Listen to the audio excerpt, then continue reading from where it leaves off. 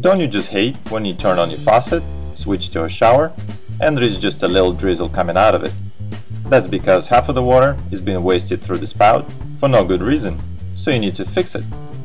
First of all, you need to figure out what kind of spout you have. If you look underneath and see some kind of opening with a set screw in it, it's called slip-on spout. So you can use the screwdriver or the Allen wrench depending on the set screw you have and then just pull out the spout. In my case, I don't have a set screw, so I need to unscrew the whole unit from the wall. But of course, using my bare hands is not going to work here, so I'm going to use this pair of channel locks. And if you don't want to scratch it, put a layer of protection on the spout. Now carefully turn the spout counterclockwise to loosen it up, and then you can unscrew it by hand.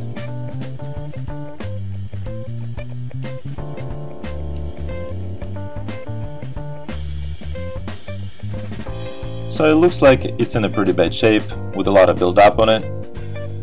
And diverter is probably clogged up with the mineral deposits. But before I replace it, I'm gonna try to clean it up by placing it in a plastic bag filled with uh, distilled white vinegar. And I'm gonna keep it there for as long as I can.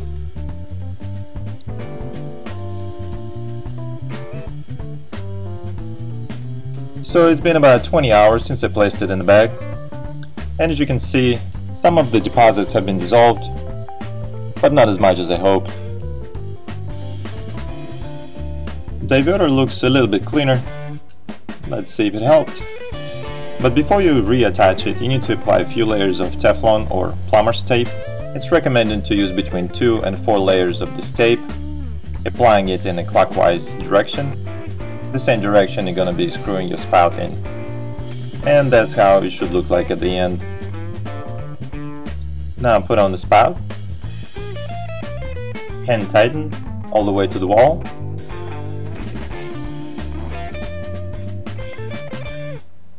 and let's test it out and see if it worked.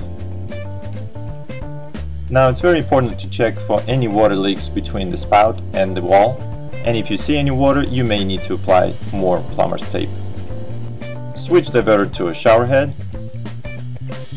And well looks like soaking did not help. So I got this brand new replacement for about 10 bucks and it comes with this black adapter for a half inch diameter pipe and that's exactly what I need. Or you can remove it completely for a 3 quarter inch pipe. To install new spout I need to clean up and reapply some plumber's tape on the pipe once again. Remove this adapter and screw it on a pipe by itself. And just hand tighten it. Then apply a few more layers of plumber's tape on that plastic adapter also. And now it's time to put on the new spout.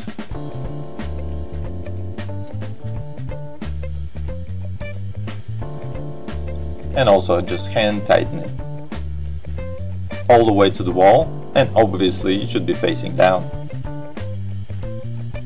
Now turn on the water and check for any leaks against the wall. If all look good, flip on diverter and this time it works much better.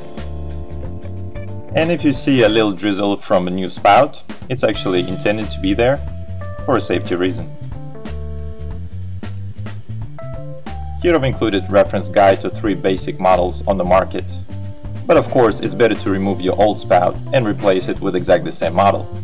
But just to give you a general idea, if you have a set screw on the bottom and front diverter, you'll probably have long pipes sticking out from the wall. But if you don't have set screw on the bottom but diverter is up front, you probably have a long threaded pipe sticking out from the wall. And like in my case, I have diverter close to the wall and short threaded pipe sticking out from the wall. And if you want to replace your spout with the same model as mine, I have included link underneath the video. If you found this video helpful, share it with your friends and also hit the like button. Thanks!